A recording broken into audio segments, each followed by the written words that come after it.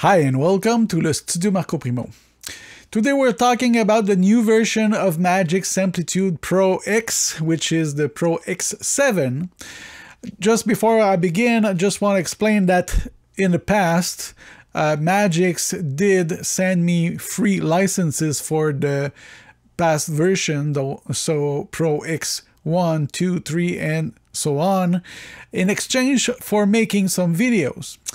And this time I contacted them and it was not the same song.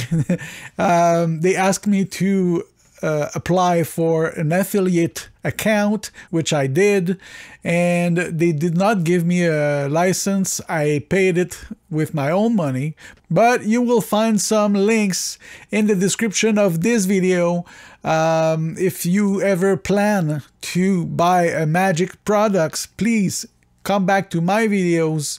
Um, all those recent will have those links and you choose the product you want, you click. It does not cost more money for you, but there's a little kick kickback to my channel so I can grow and uh, give you better content. So that said, we're talking about the new features of Pro X7. Let's dive in.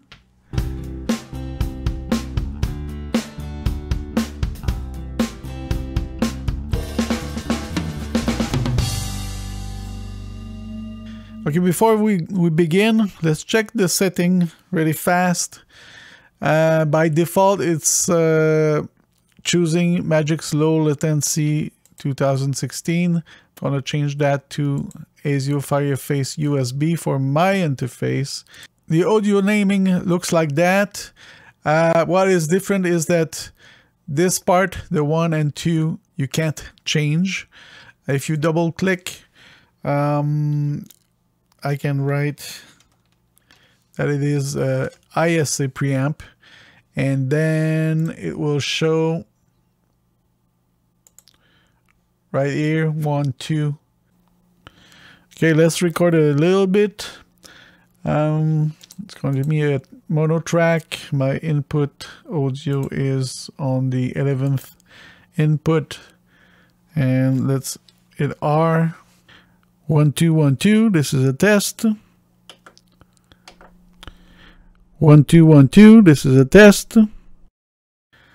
All right, here we are in the new features. Export workflow. Let's check this.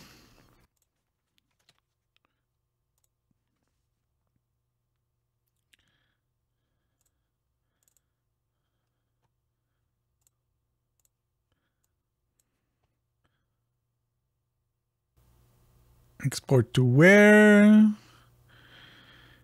file naming, from which output,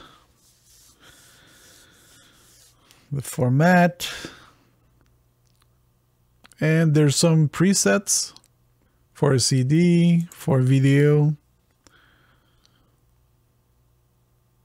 That's great, and you can save some. That that's nice. Next. New use external hardware effects as plugin. Go in the plugin browser.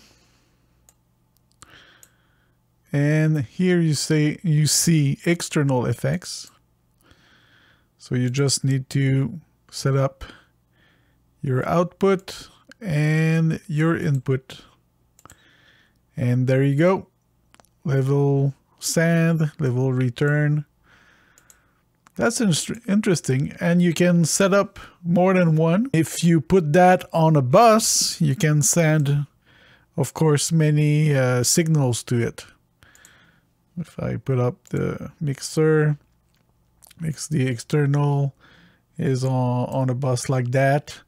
You can send many instrument to that bus and uh, get it processed. Right. After that, uh, highlights MIDI plugins. It says that it will support MIDI plugins. Let's see if they put some in. So let's take this track. Yeah, the MIDI button is right here, very small. And if we go for effects, probably in the plugin browser as well.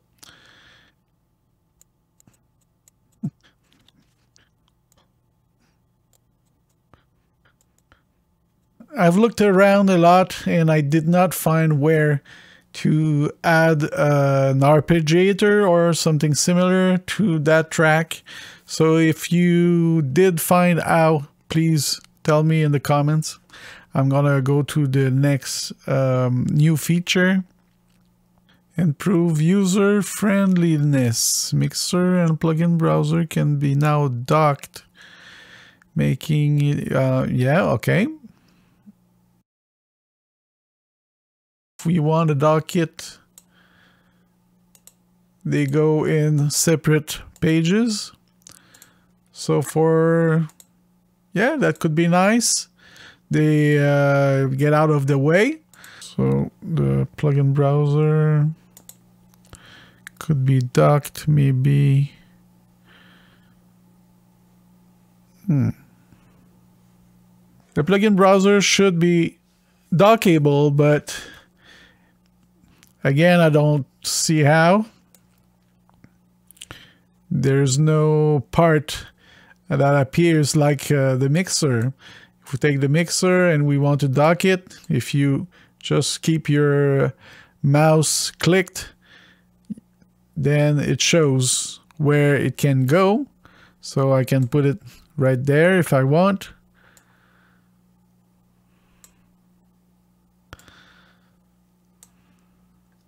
Or there as a page.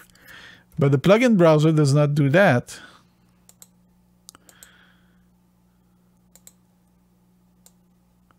See? I clicked, but there's nothing appearing anywhere. I don't know. Maybe it's a bug. Let me know in the comments. Precise crossfade editing. Let's check this. So let's uh, cut maybe there. And if we activate the crossfade,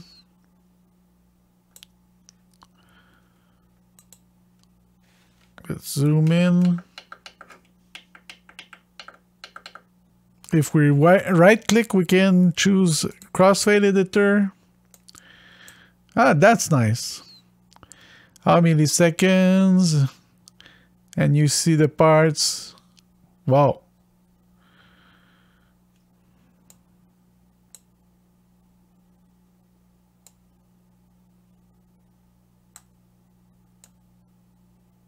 Okay, I would have to check that further and see what we can do. There's uh, some interesting things. Overlap. Hmm. All right. After that, they say improve design.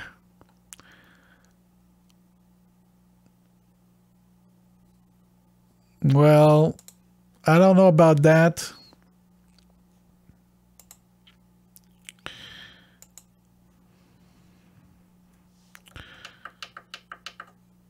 I mean, the buttons and everything seems really square. Is it better that, that it was? So what do you like more? Just say so in the comments. Either this. So again, this or this.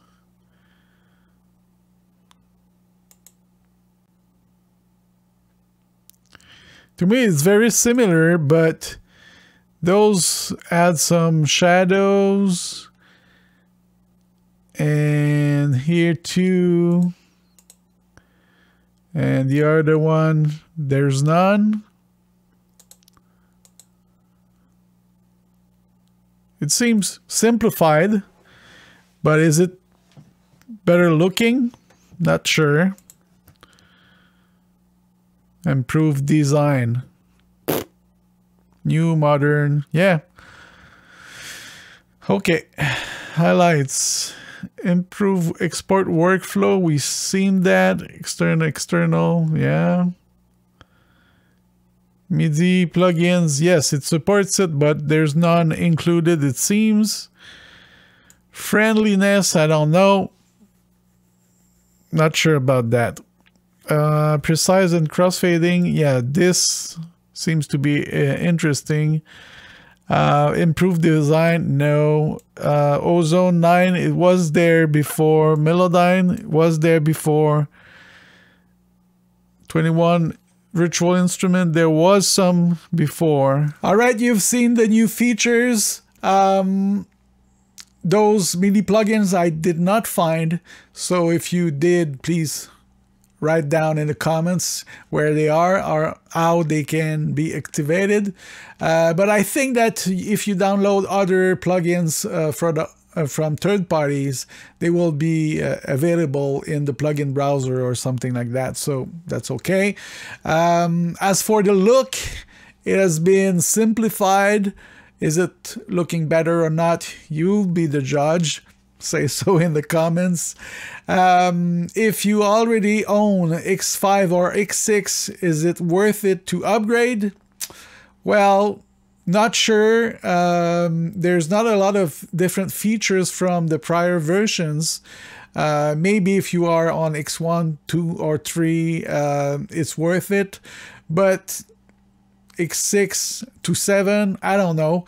Um, of course, just for the sake of getting all the upgrades and the bug fixing, that could be a good idea. So you'll be the judge. I won't uh, say that you need it absolutely, uh, but if you ever think so, uh, getting the upgrade or make a new purchase, go in the description of this video. There's a link. They'll kick back to that uh, channel so it will help. Um, I hope you liked this video. If you did, please click on the like button, consider subscribing, hit the bell to get notifications, and another way to help the channel is to uh, look at a lot of videos and share those videos. It's always a great help.